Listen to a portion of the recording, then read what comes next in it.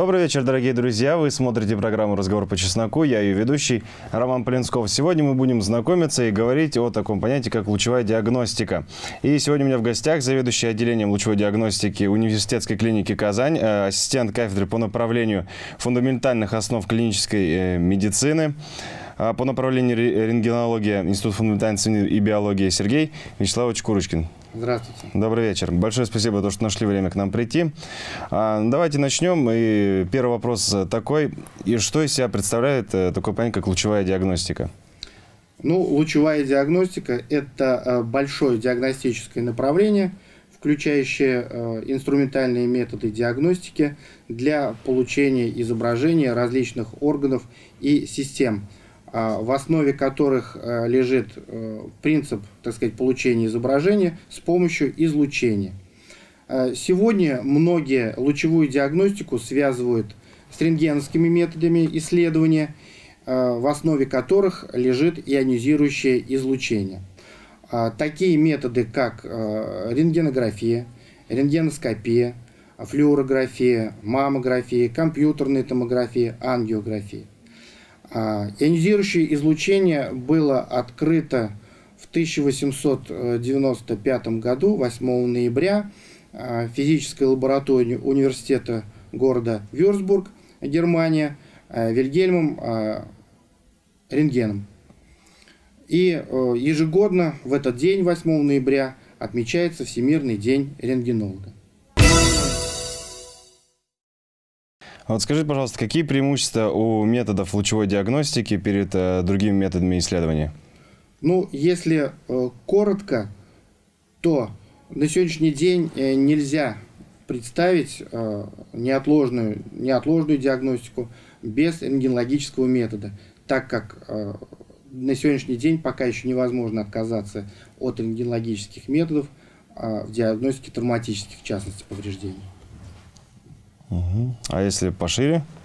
Ну, если пошире, то э, можно сказать, что это скорость проведения исследования. Если мы говорим о современном оборудовании, то на сегодняшний день э, чаще всего уже в современных клиниках мы можем встретить цифровое оборудование, цифровые технологии, которые позволяют проводить исследования достаточно быстро, его обрабатывать и, соответственно, выдавать окончательное заключение и результат. Э, дальше. Это возможность проведения исследования пациентов э, в тяжелом состоянии, если мы говорим о компьютерной томографии. Ну вот, где-то так. А пациенты с какими заболеваниями чаще всего поступают на лучевую диагностику? А если мы говорим о рентгенодиагностике, то это пациенты с заболеваниями органов дыхания, чаще всего – Э, пациенты с заболеваниями костно-суставной системы – это позвоночник, э, кости, суставы. А, и пациенты с заболеваниями мочеполовой системы, с заболеваниями почек, мочевого пузыря. Угу. Если э, мы говорим о компьютерной томографии, которая является также методом лучевой диагностики и связанной с рентгенологическим методом, то здесь важно выделить несколько значит, э, потоков пациентов, да, несколько направлений. Значит, это неотложные пациенты, а, которые, в свою очередь, э, можно разделить на э, две категории. Это пациенты, которые поступают в экстренном порядке через приемный покой а, с подозрением на острое нарушение мозгового кровообращения и пневмонии. И э, те пациенты, которые находятся в реанимационном отделении Чаще всего для них или им проводится исследование органов грудной клетки для исключения пневмонии, также для исключения нарушения легочного кровообращения, так называемой тромбоэмболии легочной артерии, и для исключения расслающей аневризмы аорты.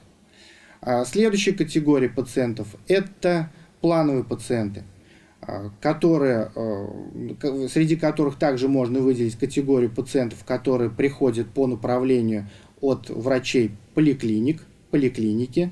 И это чаще всего э, пациенты с заболеваниями а также легких, а, заболеваниями лор-органов, а, заболеваниями печени, э, поджелудочной железы, почек, вот, заболеваниями позвоночника, заболеваниями суставов.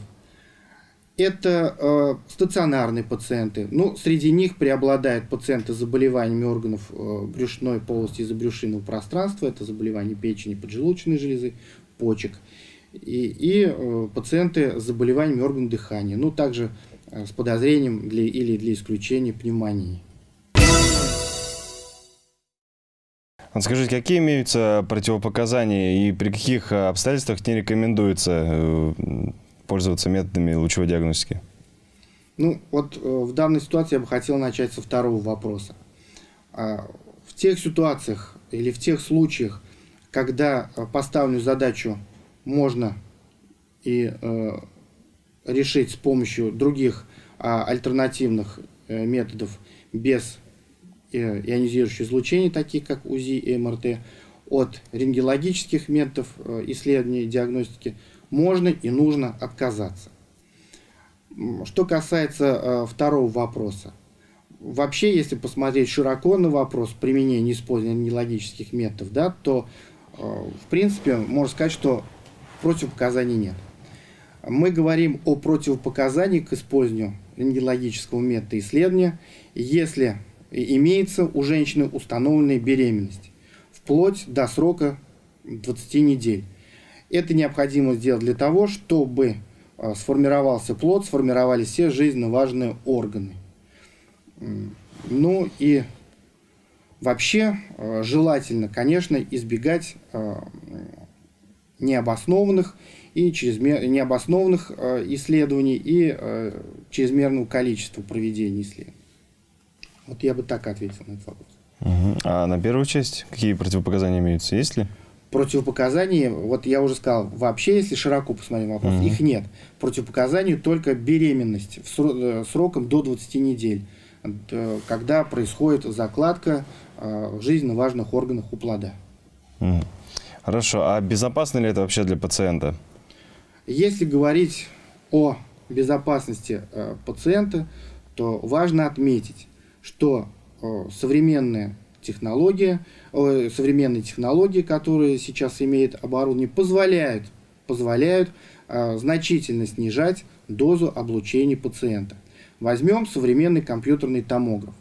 В современных компьютерных томографах есть программы, есть технологии, которые самостоятельно выбирают оптимальную дозу облучения пациента, которая будет зависеть Первое, в первую очередь от зоны интереса, зоны обследования, и второе это от массы пациента.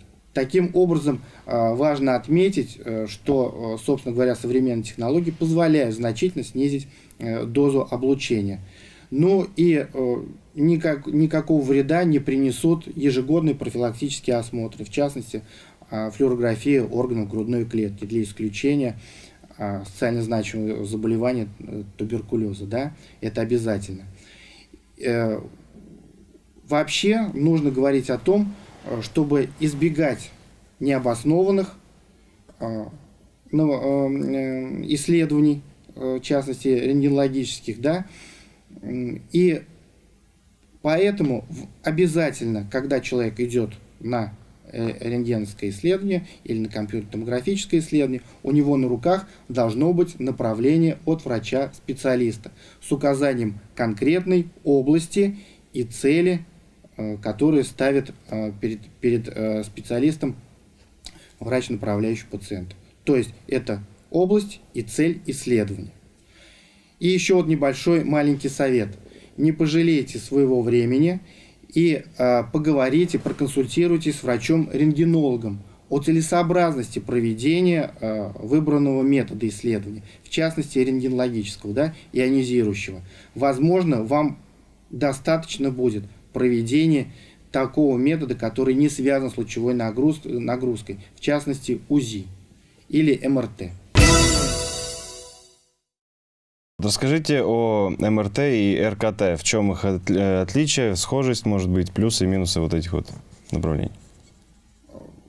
Первое, на что стоит обратить внимание, это то, что э, при проведении магнитно-резонансной томографии нет никакой лучевой нагрузки.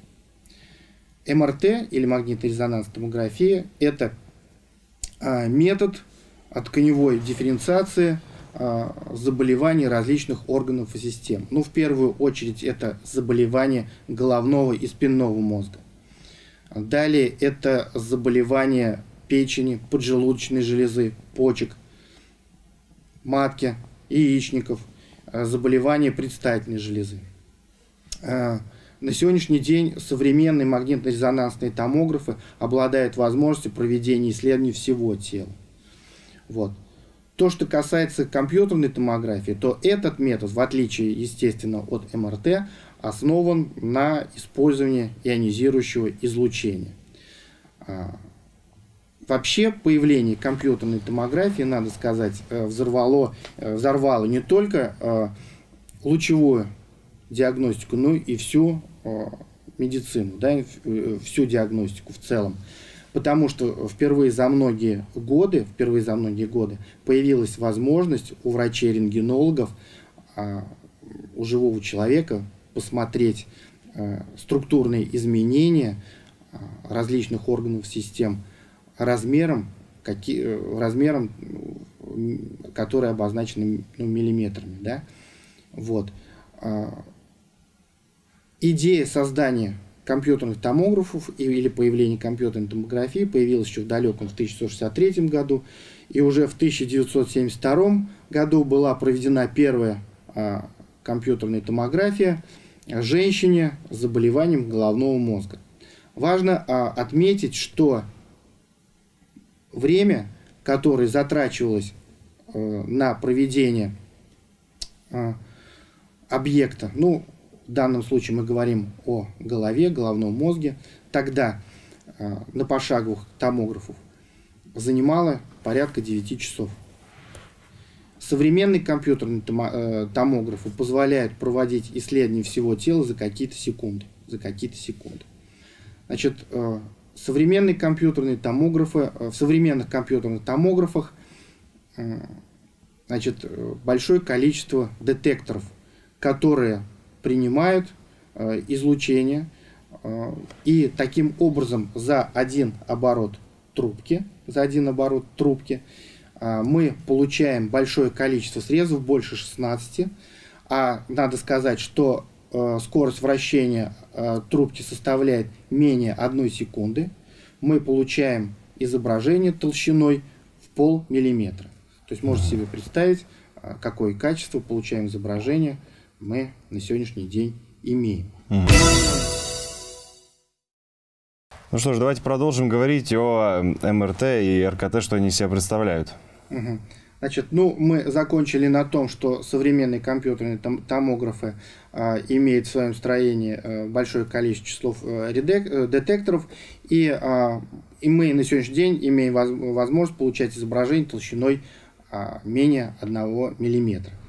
Значит, э, в литературе и в социальных сетях, сейчас в интернете, э, очень часто можно встретить такое понятие, такое название, как мультиспиральная компьютерная томография, в сокращенной аббревиатуре МСКТ.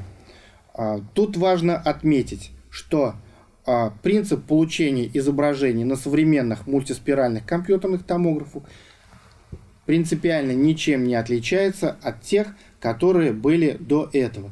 Поэтому необходимо сказать, что МСКТ это то же самое, что и КТ. То есть, когда задается вопрос о том, есть ли у вас а, или можно ли у вас пройти МСКТ, э, это то же самое, что пройти компьютерную томографию. То есть не обязательно говорить долго, просто можно спросить, есть или можно пройти компьютерную томографию. А, современные клиники на сегодняшний день все э, в своем составе имеют томографы с большим количеством числов детекторов или мультиспиральные компьютерные томографы. Таким, таким образом, э, при э, использовании компьютерной томографии мы имеем возможность расширять зону интереса и формально мы можем говорить о проведении исследования с головы до пяток. Очень важно отметить, что компьютерная томография – это метод выбора – диагностики неотложных состояний. А расскажите, как вообще и где готовят таких специалистов, работающих в сфере лучевой диагностики? Первое знакомство с лучевой диагностикой, с рентгенологией происходит э, на этапе процесса обучения э, в высшем медицинском учреждении. В частности, сейчас э, это на базе Казанского федерального университета на кафедре фундаментальных основ клинической медицины. Курс лучевой диагностики, к сожалению, он не такой большой, короткий, но тем не менее, на этом курсе э, ну, традиционно студенты имеют возможность э, пройти лекционные, практические занятия, на которых они э, знакомиться с работой кабинетов отделения лучевой диагностики.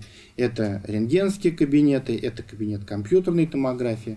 Естественно, они знакомятся и с работой э, кабинетов других отделений, в частности, э, МРТ, э, кабинетами отделения ультразвуковой диагностики. Также, естественно, это кабинет рентген-хирургических методов диагностики – а,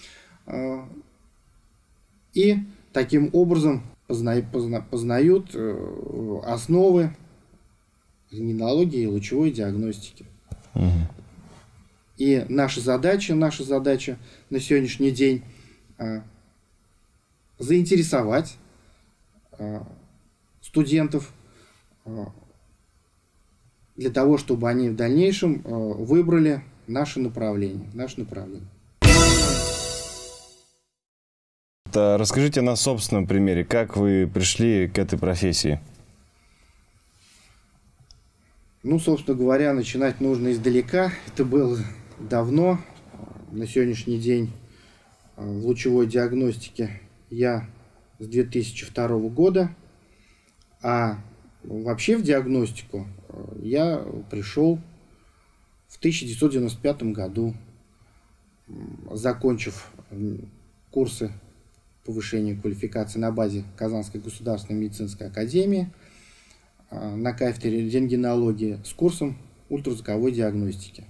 В 1995 году я пришел а, тогда еще Республиканский медицинский диагностический центр, затем это Республиканская клиническая больница номер два, сейчас это уже университетская клиника Казань. То есть начинал я врачом ультразвуковой диагностики, работая врачом, защитил кандидатскую диссертацию.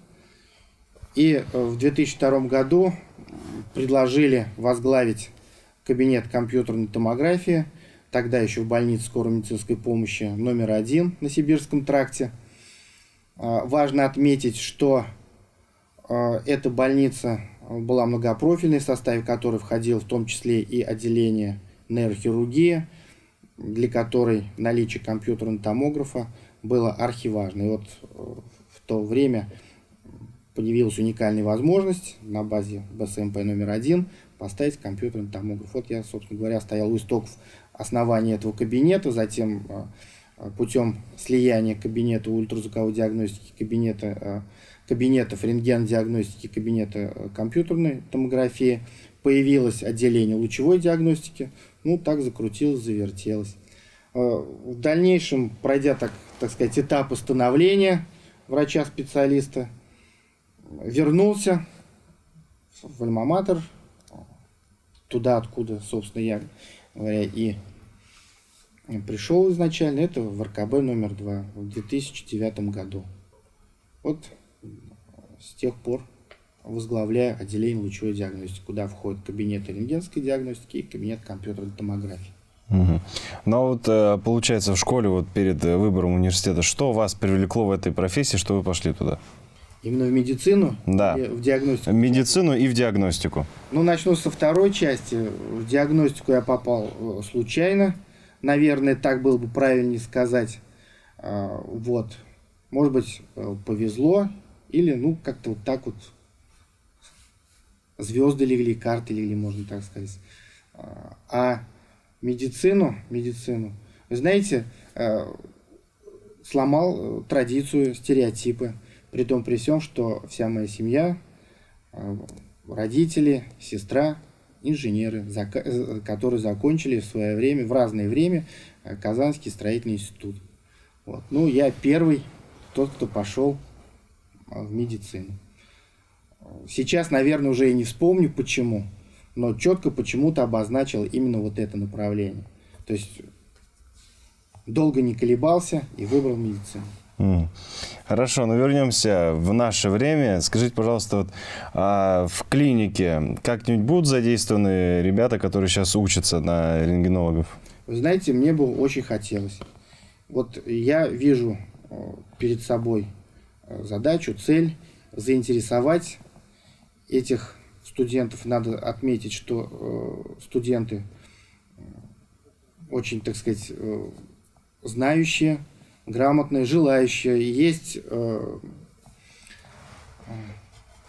желание учиться, есть желание узнать, познать, то есть задают большое количество вопросов. И интересно с ними работать, интересно. И вот я ставлю перед собой задачу э, как можно больше студентов заинтересовать именно э, в своей специальности, в нашей профессии именно врач, врачей-рентгенологов, врачей лучевой диагностики. Потому что ну, современная медицина без э, лучевой диагностики на сегодняшний день, я думаю, ну, многое потеряет, если ее не будет. А вот сами врачи-рентгенологи, те, кто работает в лучевой э, диагностике, как-нибудь подвержены какому-нибудь облучению тому, вот как от их аппаратов? Как вы ну, думаете? Э, вопрос-то, конечно, правильный, интересный и требует, конечно, всеобъемлющего, так сказать, ответа. Скажу сразу, существуют э, специальные правила и нормы, по которым мы все, конечно же, работаем. И существуют средства защиты не только для угу. пациента, но и для персонала. В частности, мы не, по, не находимся, ну, мы не находимся в зоне прямого облучения. Угу. У нас имеются свои индивидуальные средства защиты. В частности, это э, рентген-защитное стекло, через которое мы наблюдаем за пациентов. Естественно, это э, специальное помещение, которое соответствует всем требованиям, всем, всем современным требованиям, всем правилам и нормам. В целом, востребованы ли специалисты в этой области? Вы знаете, здесь надо вообще говорить о востребованности специалистов. Специалисты востребованы не только в лучевой диагностике, они э, востребованы везде, и не только в медицине, но и в медицине в частности. Поэтому, опять же повторюсь, вот на сегодняшний день наша задача э, заинтересовать и воспитать подрастающее поколение, создать э, значит, э, группу, даже может быть не группу, а новое направление, э, чтобы чтобы э, те студенты, которые сейчас э, проходят обучение, стали хорошими, классными специалистами. А что вы можете предложить в своей клинике?